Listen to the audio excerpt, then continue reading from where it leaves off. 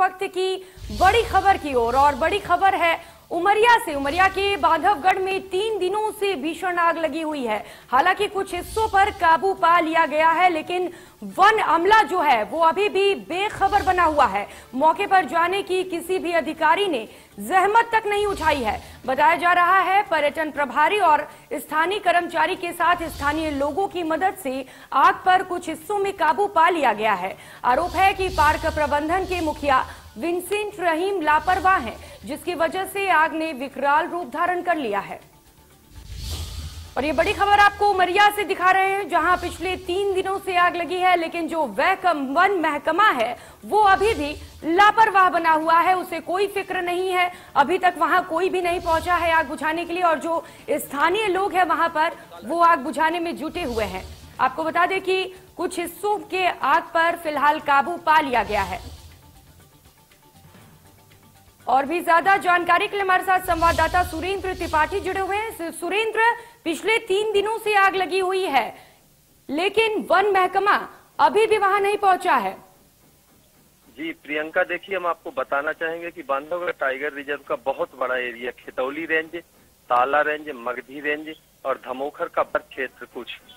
जिसमें आग तीन दिन से लगातार बढ़ती ही जा रही है। गाँव वालों के सहयोग से कुछ पर्यटन प्रभारी और कुछ गाइड जिप्सी वाले ये सब मिल करके अपनी रोजी रोटी बचाने के लिए लगातार आग बुझाने का प्रयास कर रहे हैं। तो लगभग 45-50 प्रतिशत आग पे काबू पाया जा सका है।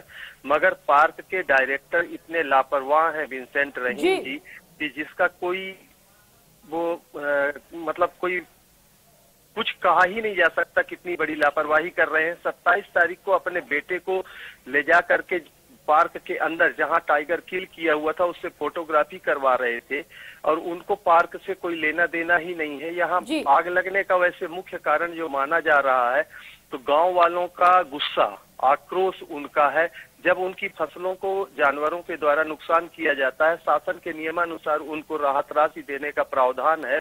मगर चार चार दिन गाँव वाले बेचारे पार्क के अधिकारियों के चक्कर लगाते हैं उसके बाद भी ये लोग जाकर के उनका फ़सल का क्षतिपूर्ति का आकलन नहीं करते हैं जिसके कारण आक्रोशित होकर के हो सकता है संभावना है कि कोई गाँव वाला ही कहीं पे आग लगा दिया हो और आग इतनी विकराल रूप धारण कर ली कितने जानवर मर गए कितने पेड़ जल गए इसका कोई भी जानकारी देने के लिए तैयार नहीं है और न किसी को कोई जानकारी अभी तक है।